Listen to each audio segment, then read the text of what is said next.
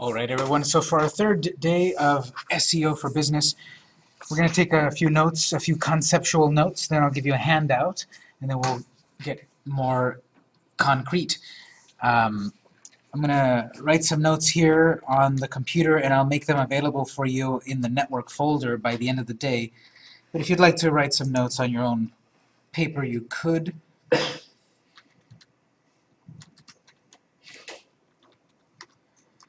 And so here we have three pillars of SEO. Three things that we're going to base our efforts of SEO upon. We have authority. I'm sorry, let me do it in order. Longevity first, then authority, and then content these three concepts, these three pillars, are things that we need to think about to help improve our SEO. Longevity means how long has your website existed? How long have you had that online presence? How long have you had your little piece of the internet? So longevity is the length of time your online presence exists. Online presence. Technically, doesn't have to be a website. It could be how long you've been on Facebook or Twitter or how long have you had that email newsletter. So basically, how long have you have you existed online? Because if you and your competitor have the same sort of brand, concept, or product, the search engines are going to give your competitor a little bit more preference if they've been around a year before you, let's say. So the longer you are online, the more it helps your SEO, or we'll call it your rankings. So I uh, haven't created my website yet. I want to create it as soon as possible to get online or maybe I have my website for five years, um, that's going to help you. We can look up any website to see how long they've been around, so just for fun, let's um, open up your web browser and I'll give you this website. There's many websites that will give you this info. It's like the phone book. I can get on the phone book, my phone number will be there, people can contact me, or a business, we can look at whois.icann.org. Let's go to the website whois.icann.org. ICANN, I forget what it stands for, but it's the big internet company about something. And it basically is the place, it's the world's phone book.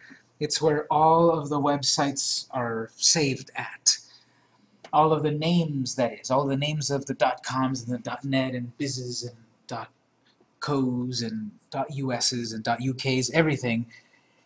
There's a directory listing here, but you can access this data from anywhere. You can access it from GoDaddy.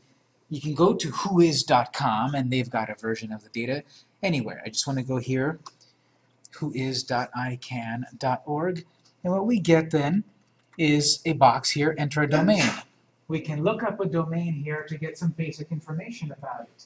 Just for fun, you can put any domain here that you want, but if you'd like to try this, one of my oldest websites, vmcink.net.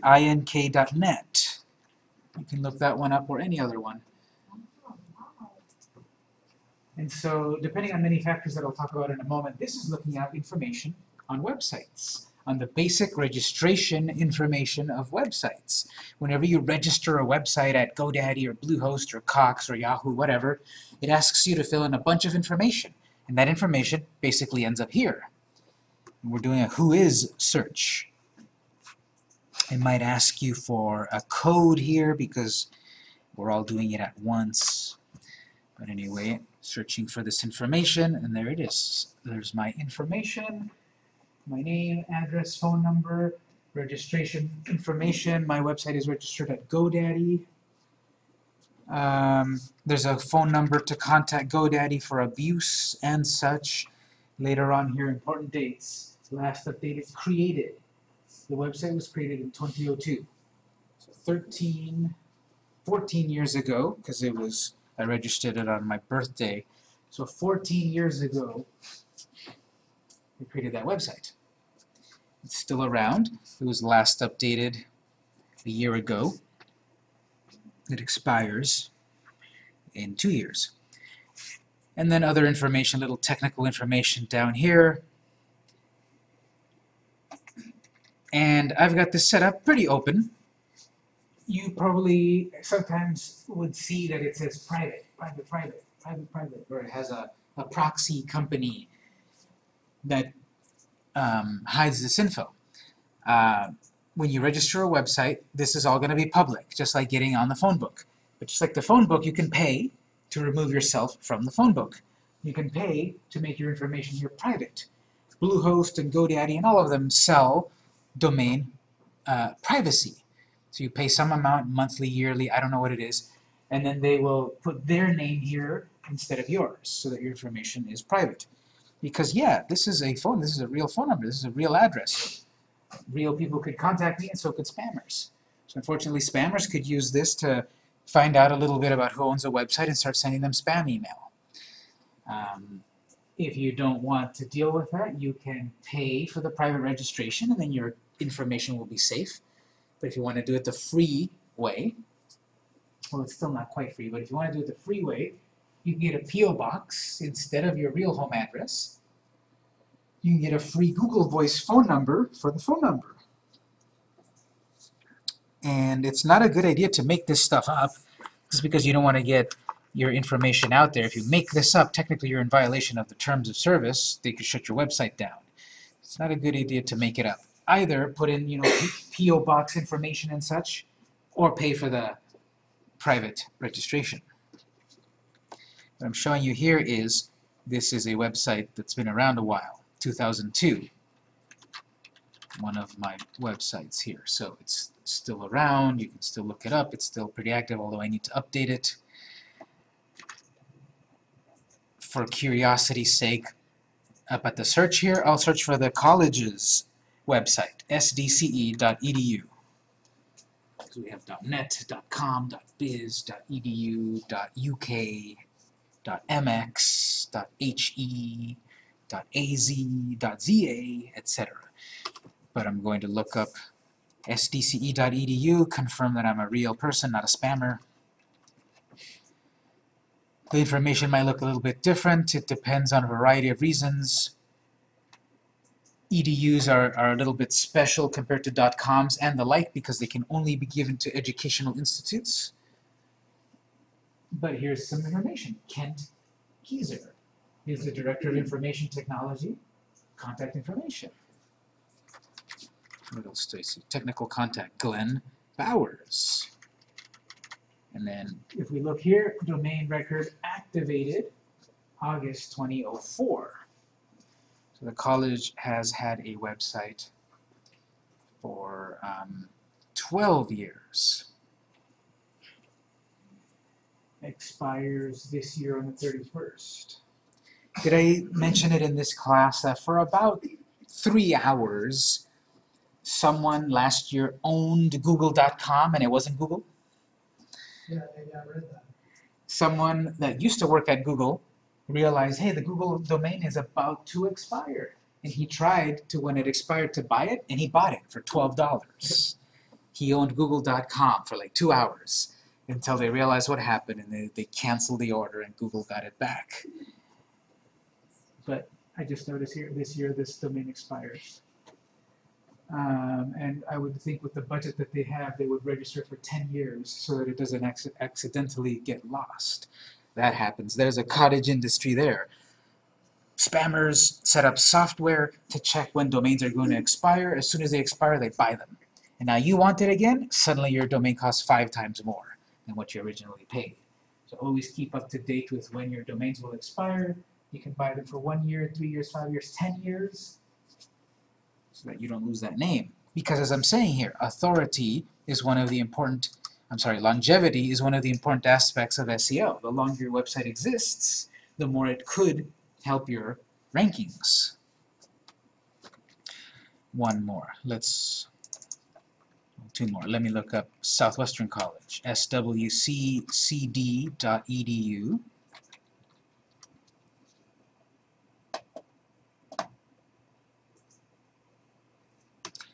A year later, Southwestern College set up their domain, and theirs also seems to expire. Maybe because it's an EDU, it expires in different ways, but they're both July 31st. Interesting. 2005.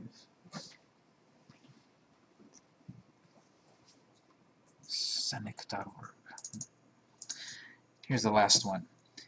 Apple.com. Again, you could look all of this stuff up. It's, it's all public knowledge, pretty much. Domain administrator, address, phone number, etc. Important dates. Updated, created, 1987. Now, technically, there were not websites in 1987. Websites were invented in 1989. But this is uh, this could have been a private server or a server accessible by other means like FTP or Telnet or Archie or whatever. Um, and so Apple has had an online presence on their websites in 1987, and they have it claimed until 2021. So wait until 2021, you might be able to take Apple's name if they don't forget to renew it.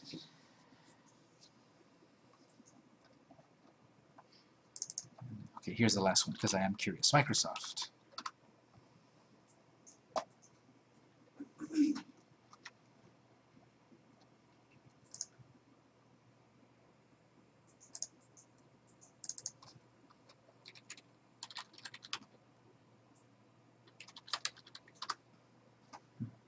I might have broken it. But the point here is to check, uh, you can check the any of these things. You can check your competitor.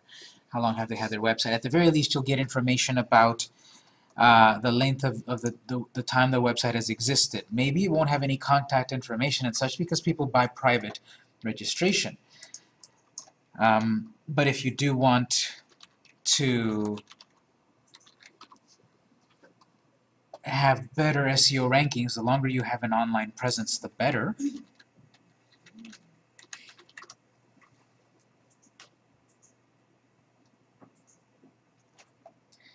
And you might say, well, I don't have a website and my competitor has been around for a year, so all is lost. I'll never be better than my competitor, right?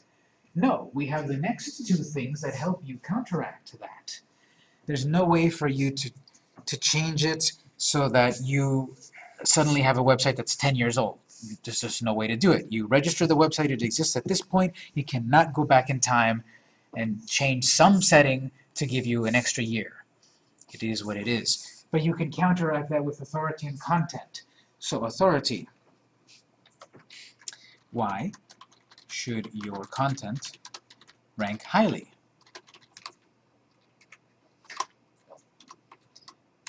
Become a timely and relevant source.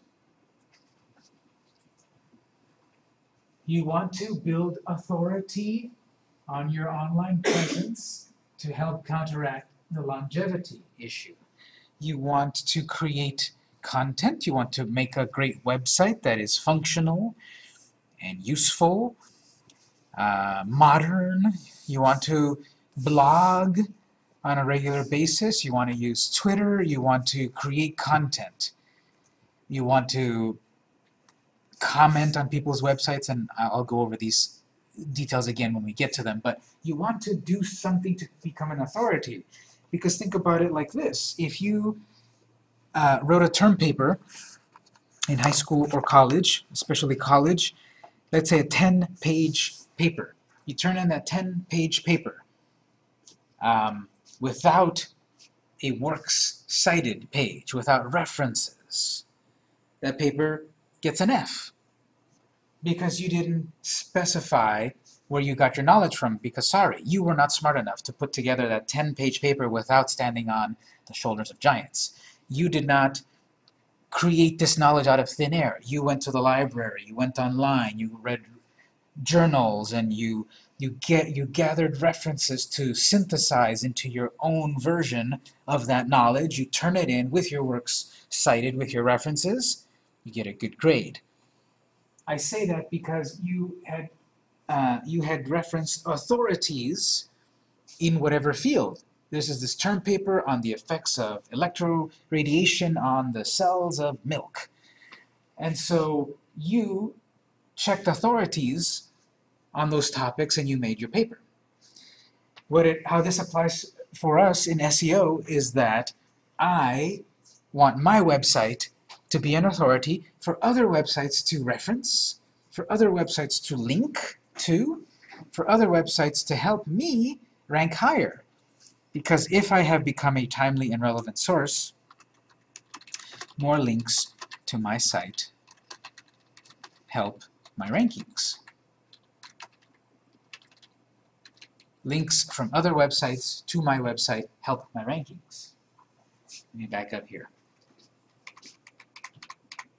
I'm going to say quality links to my site help my rankings. If other quality websites link to my website, I become a quality website. And the search engines see all of these connections. The search engines are running 24 hours a day, scanning the whole internet. They're going to see that this website is connected to that website, and that website is a good website, therefore you're a good website because you got connected to, you got endorsed in a way, you, you were referenced by a good website, therefore you're a good website. Do you think the opposite is true? What if a bad website links to you? The opposite is also true. If you've got a lot of not quality websites, a lot of spam websites linking to you, the search engines will see that spam website links with that website, it must be a spam website. They're all linking together. So that's negative SEO. Negative SEO could be real for a real problem for you as well. You you have all of these websites that are poor, low quality spam farm websites linking to your website that's going to drag you down, even though I believe you, you're not a spammer. But the search engines won't. The search engines are guilty until proven innocent. They are guilty by association. They are shoot first, ask questions later.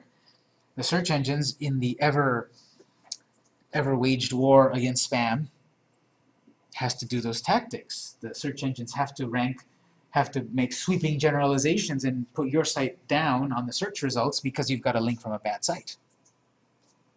One of the things we'll talk about today is identifying that. What are my links? What are the good ones? What are the bad ones? What to do about the good ones? What to do about the bad ones? We'll get to that today. But here, the importance is that you have links back to your site. And you're going to get links back to your site and authority because you've got content. Again, what are you what are you creating? What are you sharing? Is it interesting?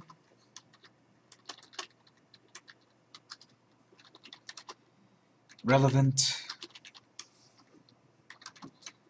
Authoritative? Useful, etc. Whatever positive terms you want to use. Am I tweeting something interesting? Am I posting something on Facebook? Am I blogging? Are you blogging? Are you on social media? On review or testimonial sites, meaning Yelp and uh, TripAdvisor, Angie's List, whatever. Is there that content of mine out there to the world, uh, for the world to consume, to to share because if I have a blog post about the top five tax tips, let's say I'm a tax preparation business, I'm going to have a blog post, the top five tax pitfalls. I'm going to give away a free article about the top five tips. Uh, I don't think that's going to be enough information for someone to do their to do their taxes like a pro, but I'm giving out free content on a regular basis because I'm going to become an authority in that field for as long as I can. I'm going to put out that content. It might get shared. Someone shares it on their Facebook. There's a link from their Facebook back to my website. Link back. Maybe another blogger that read my blog about those great tips writes a, writes a rebuttal to it or an addition to it or something, and that other blogger links back to my blog, I'm getting more authority, I'm getting links back. And if that other blogger has been around for 10 years and I've been around only 8 years, their 8 years, because of their authority, is helping mine because I'm getting a link back.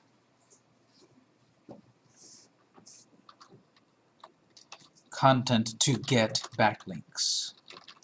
That term right there, we'll explore it a little bit more later, but backlinks. Another term is inbound links, incoming links, links to your site. So I want to get backlinks, build my authority for as long as possible.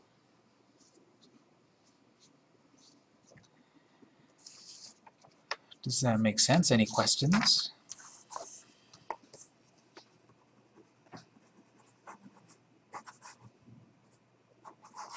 Yeah, got one. Yes. Uh, since you want other sites, et cetera, to link to you, could you make your own other site just for the heck of it and then link to your main site? in the old days, that was a technique. It was a technique for me to buy my main website and three more websites and link them back to my main website. But if I can do that, and I'm a nice guy, the spammers can do that. And the spammers abuse that because they would buy a thousand websites and link them back to their main website. So, it's not a good idea anymore to link your own sites back, especially if they don't relate. If I've got Victor's Bakery and Victor's Dog Walking and Victor's Realty, why would they all link together? They don't have a meaning to link together. But if I've got Victor's Bakery and Victor's Organic Gluten-free.com and I've got Victor's how-to recipes, you know, they all relate to food. That would be okay to a degree to link to each other. But if the websites don't relate, they're going to hurt you. So it is okay to do it then if they relate. if they relate and they do not duplicate content. If you don't have the exact same blog post on all three of them, you have different blog posts, different content. Because then the search engines will see that as a spam technique and guilty by association. If you if you walk like a spam and talk like a spam, you're a spam. Sometimes I have, not really anymore recently, but sometimes I would have students coming in here. I remember this one guy, he would take this SEO class. During the break, he would then talk to people in hushed tones. Hey, I, I know this software that will help you create a thousand links to your site, and it's only twenty dollars. You want in on it? And hmm. so they talk, and then after they're finished talking, and he leaves, and I t- t- tell the person, don't buy that software because it might give you temporary boost in in rankings and such. But these search engines are getting smarter and smarter. They're looking for the they're looking for the you know the shady techniques. They're, they're looking for the anom- anomalous things. And if your site is anomalous, if it's following a pattern of a spammer, you're going to get dinged, you're going to get caught up in the dragnet, and you're going to get treated like a spammer. You're going to end up on page 40 or 400. And sometimes it's hard to get out of that hole of SEO because it's hard to win back their trust. What about the offset? Yes, if you have a related to the back being, or somebody is coming to that being, how you gonna, you know, stay away from those link, those are sites? We have a, a technique that we'll be able to do once I give a handout called disavow links. We're going to say that bad link does not relate to me, Google, don't pay attention to it. We'll be able to do that. It'll be a little activity a little bit later. We can disavow links. So that's for the bad links. For the good links, we'll talk about what to do about that in a little while too.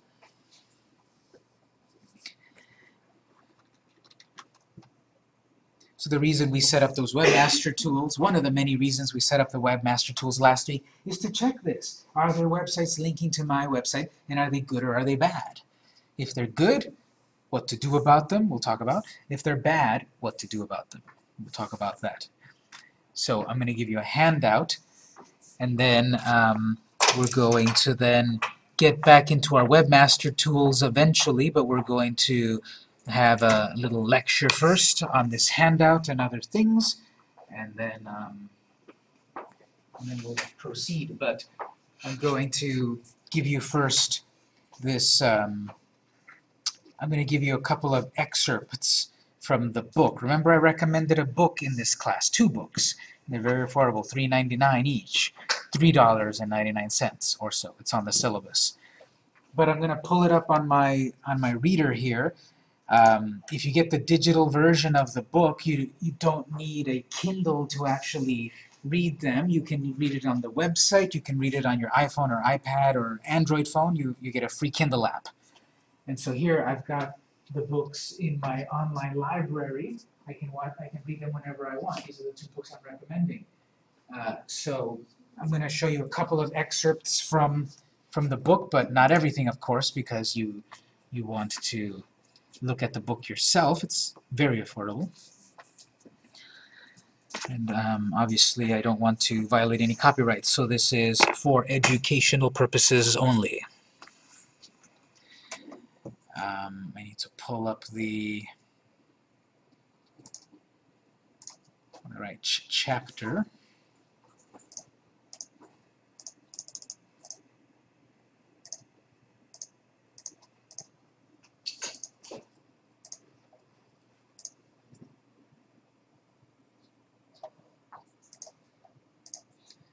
One thing that sometimes happens is that the table of contents doesn't want to behave, so I'll just have to skip a few pages here.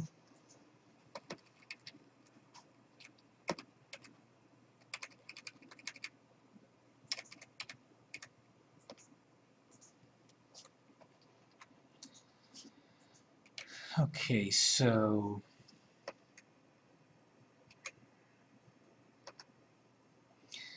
there's a simple graphic here that's going to show what I just said, that if you have quality links pointing to your website, that helps your search engine rankings. As you build quality links to your page, your page will move up in the search results. Um, because as I said the example earlier, uh, you wrote that research paper and you used references that bolstered your claim. So the search engines think of it in those terms as well. Other websites linking to your website, that must be good. You must be a good website, if those original websites are also good. Um, it mentions about having backlinks on pages in a different niche than your own did once work. However, after the update, it doesn't work anymore. If you had a website on breeding goldfish and you had 100 links, but 95% of those were not related, there were things about auto maintenance and Viagra and etc. What is that telling the search engine? So just because we have 100 links to our site, but they're not related to what our site is, that could be detrimental as well. That's why when we look into the webmaster tools, we'll see who's linking to us. You have that stuff, just? No, worse, it puts you down lower. It doesn't ignore you. It sees that there's all of these sites that don't relate to you. They think you're spam, so they lower you. They won't ignore you. Um, it goes on to say, well, what about negative SEO? What if I've got bad sites linking to me? What if I've got low quality spam sites and sites that are not related to my website? That could decrease your rankings. Guilt by association. So one of the most important things we'll talk about today is disavow links. We'll talk about, I have these weird, and I hate to say it, these weird Russian websites linking to me, but you know, this, a lot of the spam traffic is coming from Eastern Europe and Russia and such, and um, China, unfortunately, a lot of these countries are really spamming a lot, and so, um, well, people got bad websites linking to my website, what do I do about it? We'll see, we can disavow the links, we'll say, don't pay attention to these links, Google, or Bing, don't pay attention to them. They don't represent my site. We'll see how to do that. So then he goes on to say, first and foremost, go for quality, not quantity. It's better to have, you know, five valuable real links to your site than a hundred links from a bunch of different topics. To be seen as a real authority, your site needs incoming links from other authority sites. Since that update, I no longer recommend using any type of automated link building tool. What? So this is saying the old way. You could buy software that would create a bunch of links to your site. Or you could buy subscriptions that would create a lot of links to your site. And in the old days that worked because the search engines weren't as savvy. They would simply see many links to your site, You must be popular, let's rank you higher. Now it has to see many bad, weird spam sites to your site. You must be spam too. So the question, if I cannot use automated link building tools, how can I get enough links to rank well? And it says, well, to answer that, do you believe your page deserves to rank well based on the quality of the content and the authority of your site? If your answer is no, then you will have to go down the black hat SEO path to get your page ranked, and ultimately that path will lead to penalties and lost rankings. So the question is, that's the part about authority and content. Do you have stuff on your website that deserves to be placed on the first page of results or the second page? If you don't have something new or interesting or relevant or authoritative, why would the search engines rank you that high? Just because you use these tricks? No, because the tricks change, the techniques change. It's still about the content, the quality of your content. And saying, yeah, you could go through the routes of black hat SEO, as I've said before, those are the techniques that uh, either don't work anymore or actually are negative, but they might give you a bump in the very short term. The long term, you're going to end up on page 400 for having, you know, two weeks of being number one, and then you're on page 400 after that because you use these spam techniques, black hat SEO techniques.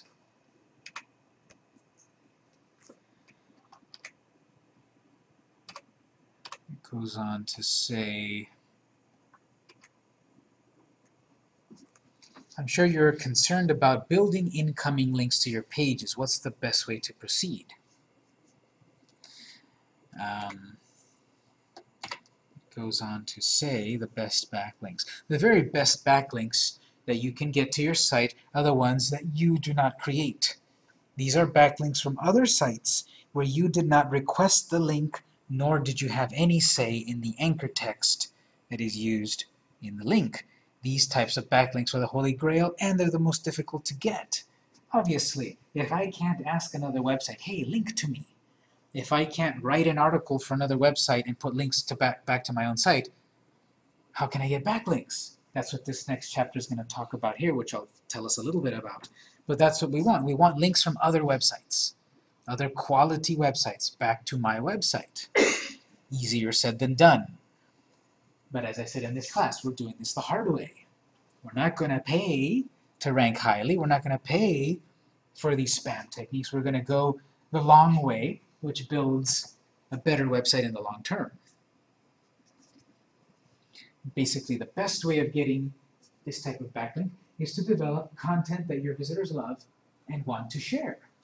Develop content on your site that other site owners will want to link to. That sounds obvious. Create good things, you'll get traffic, you'll get good traffic. Obviously, easier said than done. So here's some examples of what to do. It's got a, it's got several, here I'll mention the ones that I like and the ones that I don't recommend. But infographics, for example, this is the one I, I like and I recommend to engage in this. An infographic are graphical representations of complex topics. You've probably seen these before. Let me pull one up here. Uh, let- let's see, uh, school attendance infographic.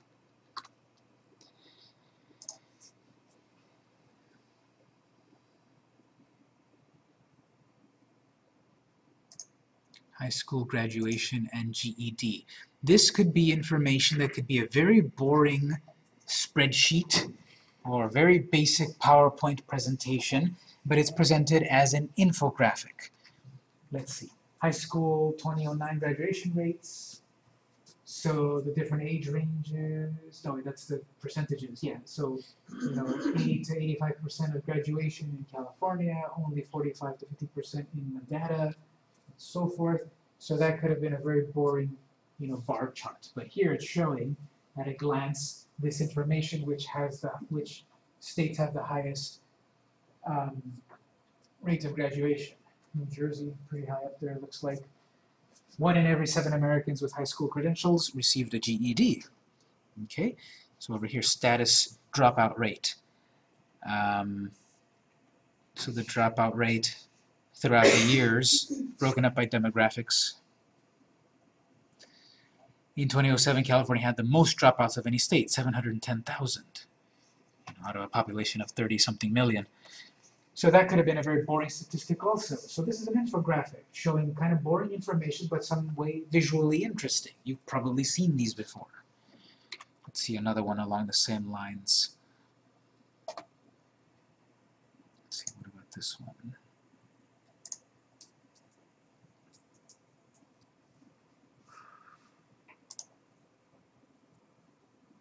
of those, so there are apps. Well, I was, I was getting to that, one moment. So on this particular one, uh, it looks even more complex because there's a lot of graphics and text and such. And the, the thing about this particular tip of using infographics, I like it, but obviously it's a little more complex, isn't it? If you do have graphic design experience, you can create something like this. There are also apps and software. There's infographic templates, infographic generators, infographic makers for free, for paid, etc. You can look up these services, you can feed it the data, and it'll make you an infographic. The reason that the book lists this as the number one example of content is because people love to share these. You've probably seen these on your internet travels. You've seen it on Facebook or Twitter or LinkedIn or your inbox. You've seen these, you like them, maybe you forwarded them. So right there, you're you're you're elevating the uh, the authority of the original creators of the infographic. You're possibly giving them more traffic. I want that.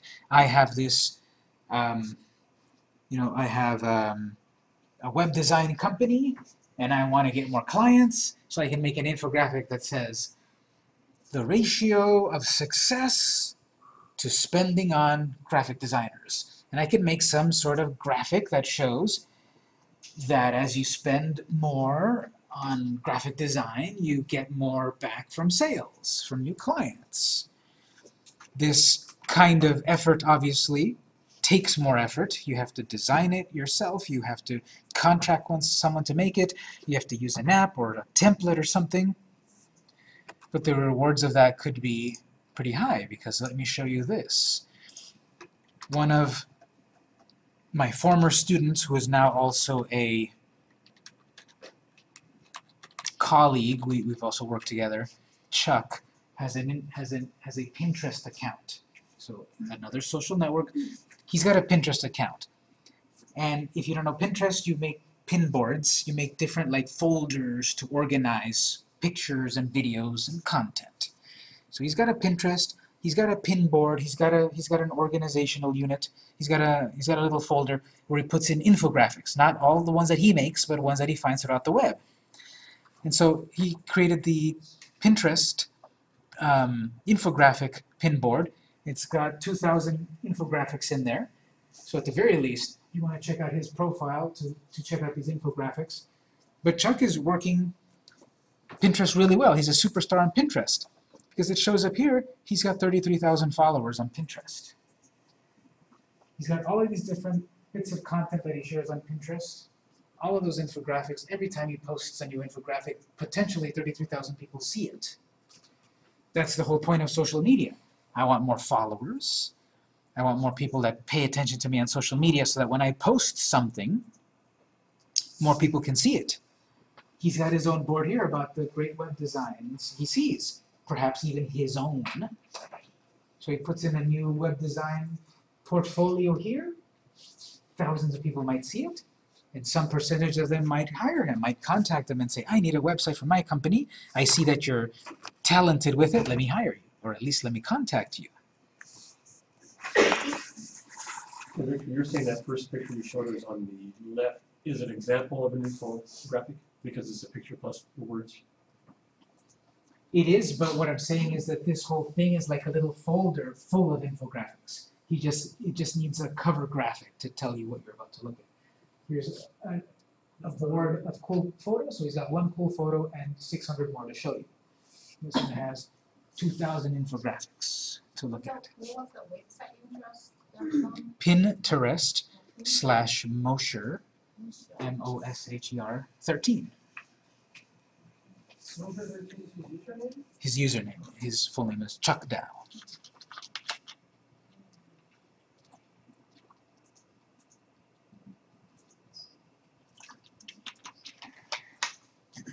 So I, I show you his social media here for a couple of reasons. One is that there are many avenues for you to reach an audience. He's got 33,000 followers on Pinterest.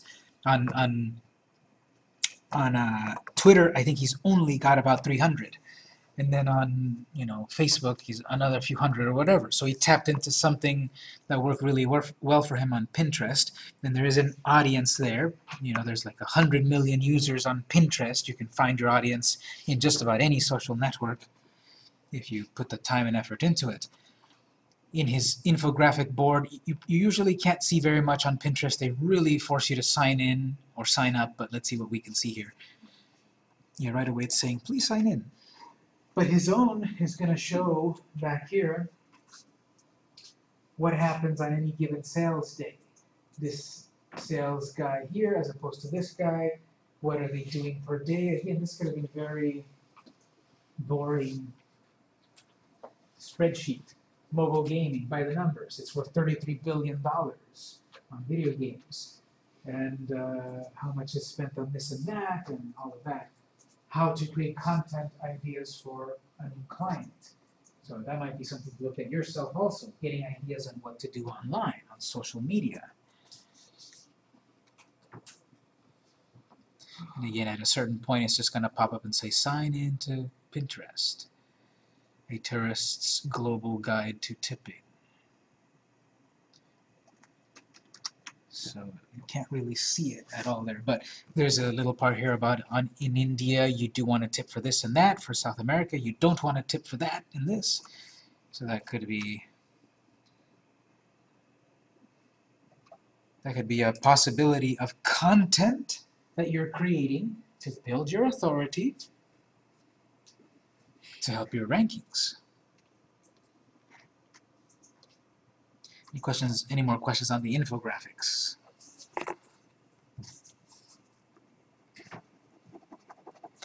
The next item here, I don't recommend this one. I don't recommend scripts and tools that people will bookmark and share. That's too complex. If you do this, great, but you're probably going to spend your time and money elsewhere better. What I mean by this is, what if I'm a, a fitness company? On my website, I could have a free calorie counter app.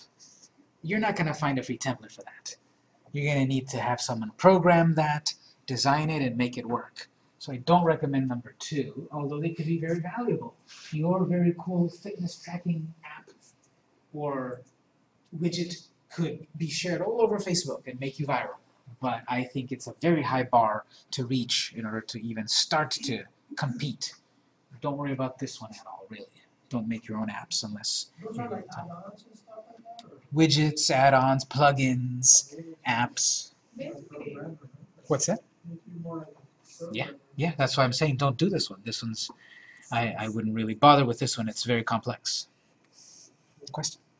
so basically you have to follow something related to your website to follow some somebody in order to get, I guess, the related links are good, right? That's one thing we'll look at also. I want to follow other people's websites, and they may follow my website or link back to my website too. Yes, so there is a lot of different angles to all of this.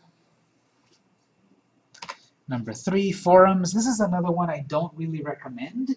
I don't recommend that you create a forum on your website because once you become, once you create forums, then you have to become a forum moderator. You have to keep track of the spam comments and delete them. You have to delete people's comments that are not on topic. You have to now get another job being a moderator of your forum, and you've got to run your business. So I don't recommend this one unless you have the time and the effort or someone to do it for you. I would recommend instead segue this over to social media. It's a lot easier to run social media than a forum because Twitter has the website for free. Facebook has the website. Google has the website. Here you have to install this on your own website. You have to maintain it. You have to make sure the the software is updated and you don't have vulnerabilities and all of that. So don't bother with forums. Don't create a forum on your own site. But the opposite of that, I will say, yes, you participate in forums, like you were saying a moment ago. You go on other people's forums, other people's websites and comment. You be active on other people's websites because I could get you links and traffic back to your own website.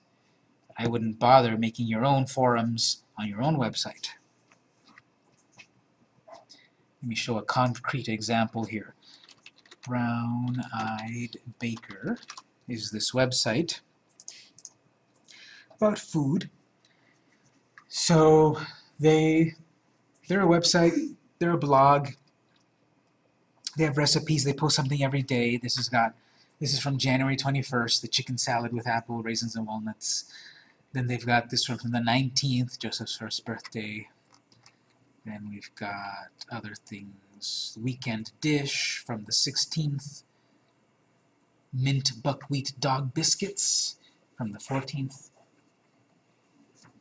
So anyway, got a, it has a variety of blog posts. Um, it's also got ads along the site here and there, and so this website is a big website. It's been around since 2008. It posts something all the time, every day, pretty much, creating content, building authority. They have longevity.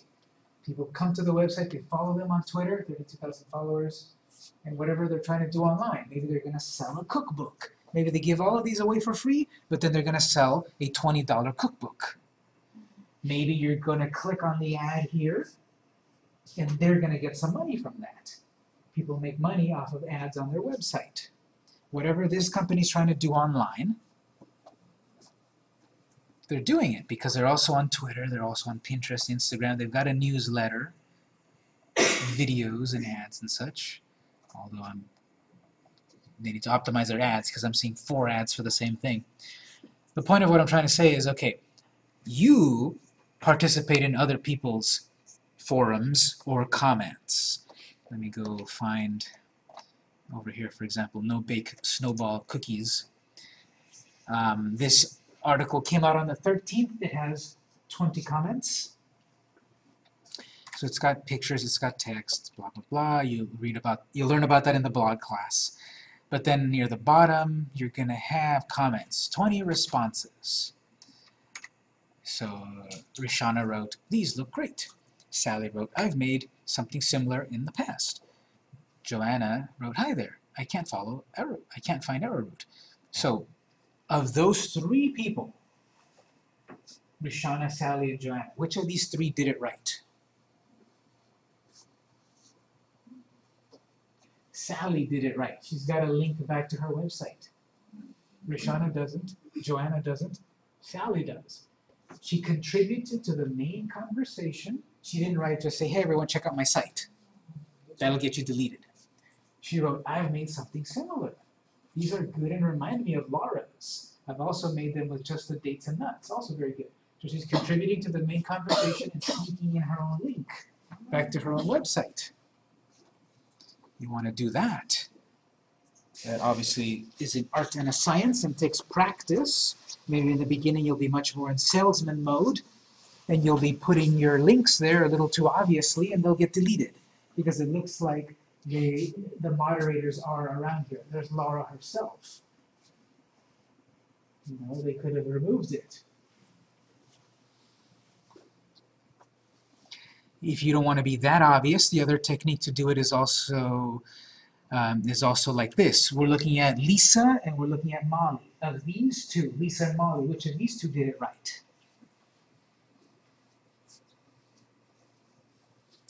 Lisa, because Lisa has an active link. That is a clickable active link back to her website. Molly doesn't have a link back to her website. Lisa didn't put an obvious link in her text. She put a link in her name. It's going back to moneymade.it. Backlink. So if I go down to the bottom where I can leave a comment, this is very standard. Your name required, your email required, and your comment. Address not required. I'm going to tell you, make it required. Put your name, put your email, put your website, because that's how you get your link back to your website. That's how we saw up here. Heather doesn't have that. Laura doesn't have that. Samantha did. Samantha's got an active link back up to whatsupsusanna.com. When she wrote it, when she wrote this comment, she also put her website address right there. So this big authoritative website with a lot of longevity and content has a link back to your website. It would be much better if there was a blog post unsolicited that I didn't control, that they linked to my website. That'd be much better. But here, this will give you some traffic back to your website and some positive SEO juice. But it's going to be better if I get like a write-up on their blog. At the very least here, it gets me a little bump in traffic and that might snowball.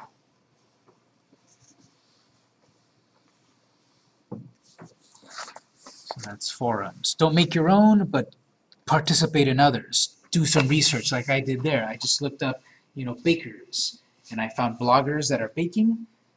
I've got Victor's Bakery. I'm going to comment on their posts and comment, you know, subtly. Any questions on forums before we go on?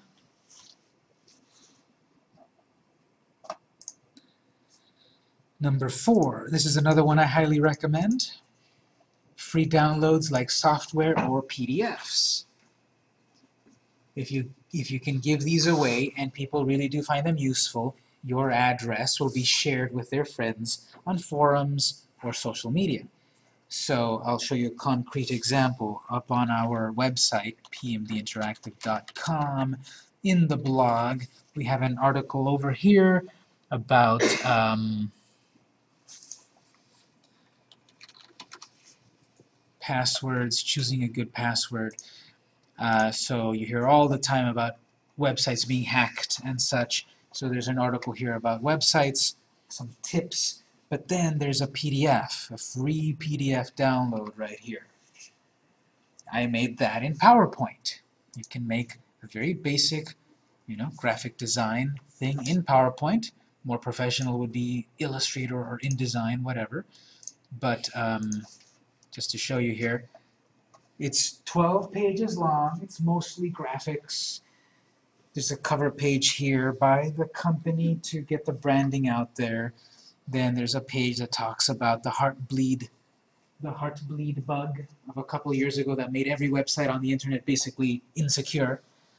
What it was, links, you can put in, you can put links within your own document in PowerPoint.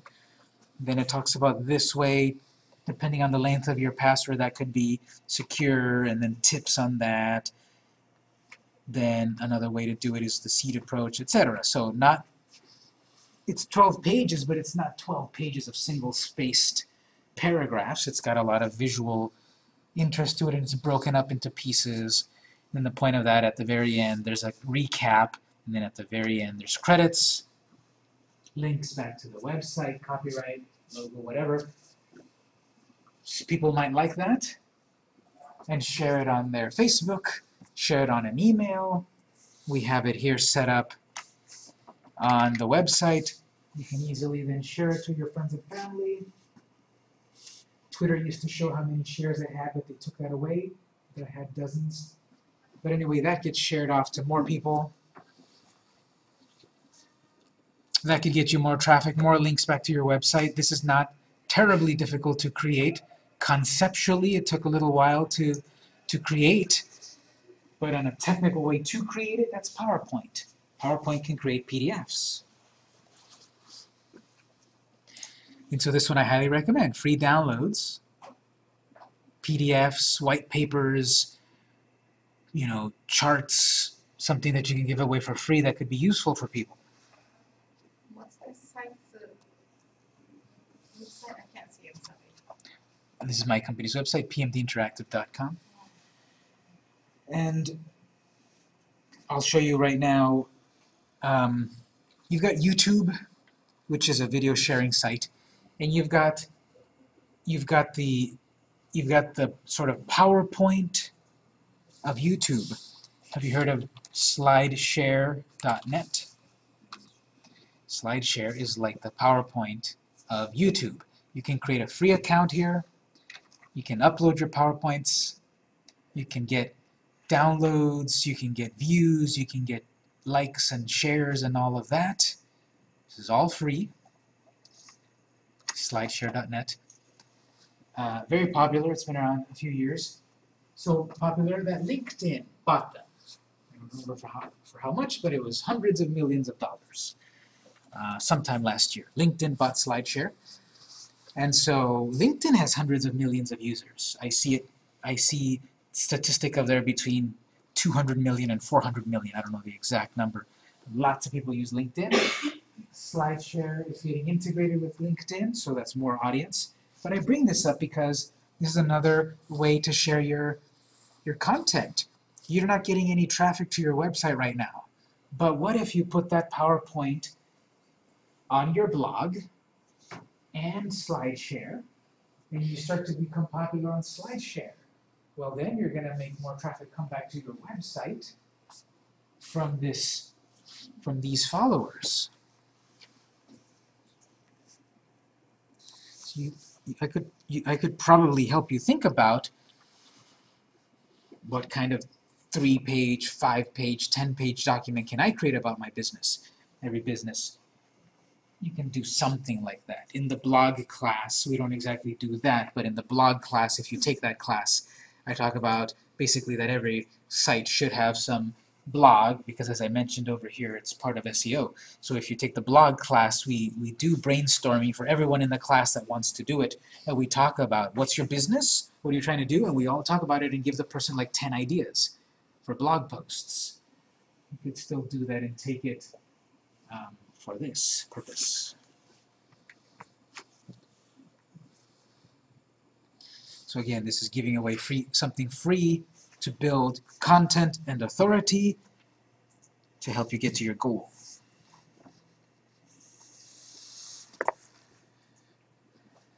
Number five, I also really like. This one might be one of the easier ones to work on. This is posts that include lists.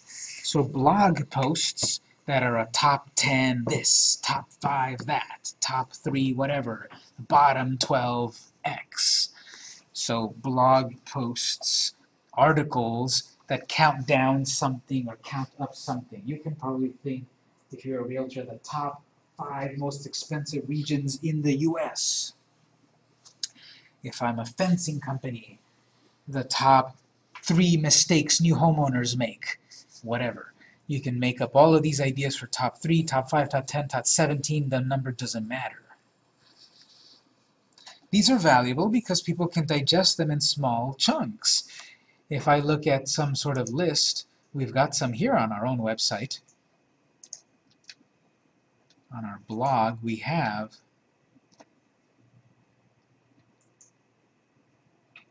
you know, the top three WordPress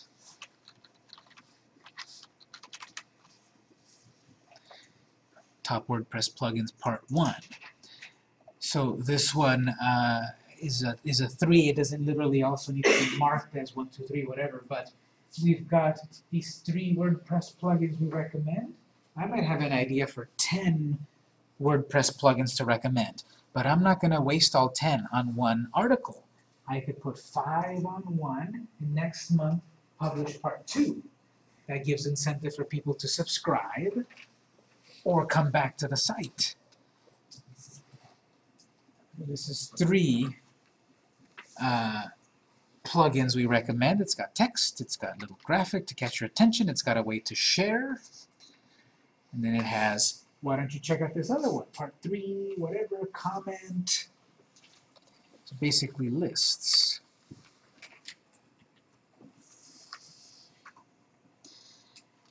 Um, these are digestible. They can be spread out to many um, days. And uh, if you if you write this and you have a link to some other website and you tweet this, I could tweet, here's our top WordPress plugins part one. Special thanks to duplicator.com. On Twitter, I could mention some other authoritative figure And when you praise people, they like it. So that other account that I praised on Twitter might retweet me, might share my tweet.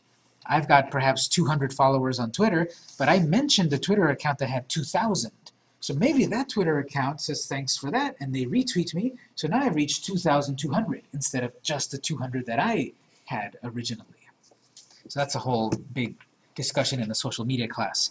But that's why you want to create content that is shareable so that someone that could be a big influencer on social media could further share. It happens all the time uh, in our company or, or myself, uh, like on Twitter. I, I, um, I like to watch a certain TV show and I posted a picture. That TV show has a comic book. I, I posted a picture of myself holding the comic book and I said, I love this show, whatever. And then the original show retweeted me and then suddenly, you know, 5,000 people saw me in, from my only, only, instead of my only 600 followers. I suddenly was seen by many more people because I also kind of like jumped on someone else's coattails on social media, and that's a perfectly good strategy. Who else can I connect with? Maybe I'm gonna make my own amazing version of the snowball cookie and mention Brown Eyed Baker on Twitter, and they'll say cool, and they'll retweet mine, and I'll get more views.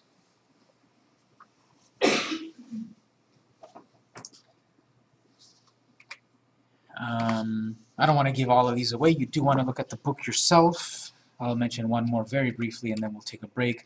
It does mention YouTube and such. YouTube and video sites are ascending. You do want to get on some sort of video site at some point. Let me show you the example of our company, YouTube, youtube.com slash pmdinteractive. We've got various videos here.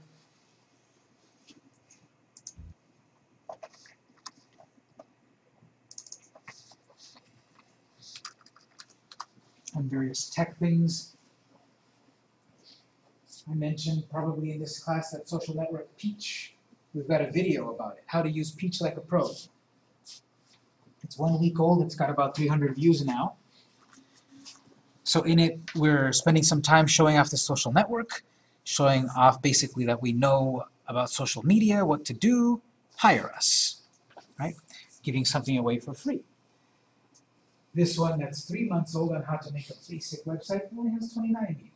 You're not guaranteed on this stuff at all. You're not guaranteed on getting views. One bit of popularity doesn't translate to another bit of popularity. Going back a little bit further, three months ago we also published how to build an Android app in five minutes, 10,000 views. Almost up to 11,000 now. This other one about food staging, how to stage food, 30 views. So they really range. You don't know what's going to hit. So you don't have to be doing 12 minute videos, 7 minute videos, 5 minute videos. You can be doing 40 second videos, 1 minute long videos. These will have some amount of traffic. This is a big topic that, that we don't have time to get into, but videos could be very valuable for you. They could go viral. They could then build upon themselves because the point of then this having so many views is YouTube lets you link one video to another video. So when someone watches this video, all these 10,000 views, someone watches this video, then we can guide them to look at this other video. Well, what's the point of all the videos? Again, what are you doing in social media? Is it helping you get more traffic back to your website? Maybe you sell video lectures.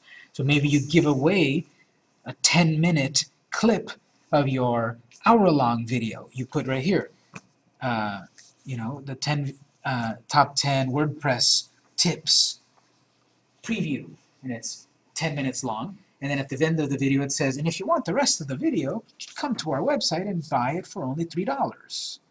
People do that all the time. Video obviously takes much more effort, much more work, all of this stuff. You know, this, this took at least 12 minutes to create.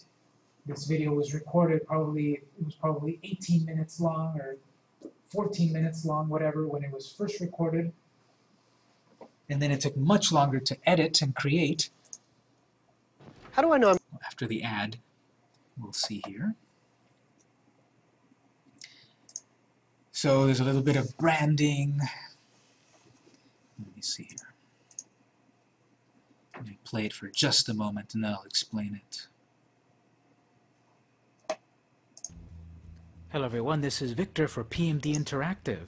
Let's take a look at the latest and greatest social network on the block, and it's Peach. This is the Peach social network. At the moment, it's only available for iOS devices. Sometimes the Uh, volume but eventually it'll branch out. So if you're an sometimes the volume of our computers here don't work. But anyway, I've got um, here this branding, how to use Peach, so a how-to instructional video. Hello I'm everyone, this is recording Victor directly from PMD Interactive. iPad Let's take a look at the latest and a greatest social, social network, network, what to do exactly and it's Peach. get this app This and how do I work it? What do I click on? Moment, it's only available so then I'm, for I'm narrating it and I'm showing yeah, beginning to end how to create screen, an account, what are photo, the different buttons and screens click, are, Let's search for a cat. how do you actually my use it. And so far it's got about 300 views. text, It's a picture, it's, a um, GIF. It's telling me cool, right? It's we a call that a magic word. The social network itself is two weeks old. So this is about that timely, relevant content. We created this video. Look at our contemporaries. Carlos Gil has his own version of what Peach is, 44 minutes long, 180 views. Just Cause TV, their own version of it, 3 minutes long, 119 views. CBSN, that's a big network, they've got a little bit less than us. They've got hundreds of followers, we've only got 54, but our video, for various reasons, has got a few more. This one, yeah, uh, Carlos Gil, here's got 5,000 views on his, but he's got thousands of followers. Now, I, he's double dipping if you notice. He made this one, and he made that one. So he's got two versions of the video, a seven minute look and a 44 minute look, but the 44 minute look is not taking off like the seven minute look. It might be too long. People might not stay to watch it non-stop for 44 minutes, but they may jump around in it. And uh, if you design your if you design your video in a way that um, you can actually make um, you can make chapter stops in a YouTube video. For example, here's a video.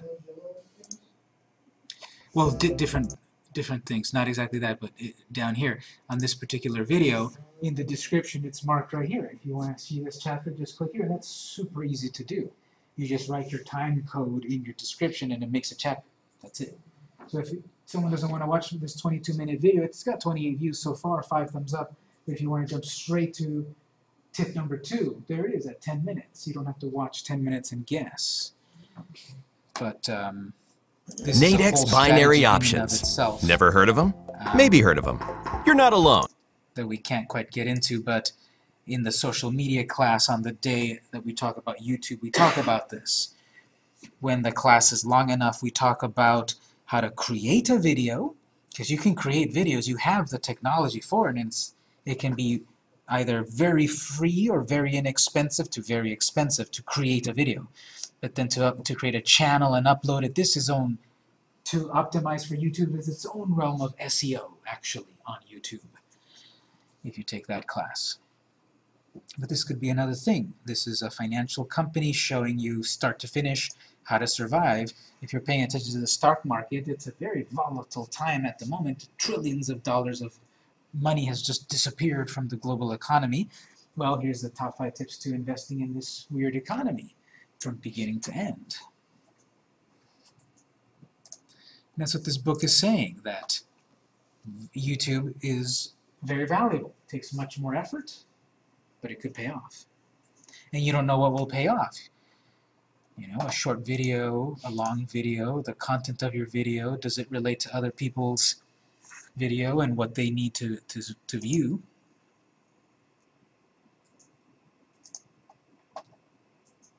So lots of things to think about. I do recommend to get that book. It's $3.99 for the Kindle version. It's probably about $6 for the printed version. But um, we'll take a break in just a moment. Any general questions about what we've talked about? Do you have a way of knowing if all the work you folks put into making all those things like on Pinterest and so forth has actually paid off in Yeah, various ways because you can see from within Pinterest or within YouTube your traffic and such. And if you run it the right way, you can have, for example, this works best on the restaurant clients, but we have something on YouTube, let's say, and then there's a link somewhere here about buy that. We can easily correlate that. We look in the cash register. We, we, we do a report of, of inventory to see that that has actually worked. Some other businesses might be a, a little bit harder to quantify that, but if you're trying to sell something, that's how you'll most obviously see a result because you've sold more of something after you engaged in social media.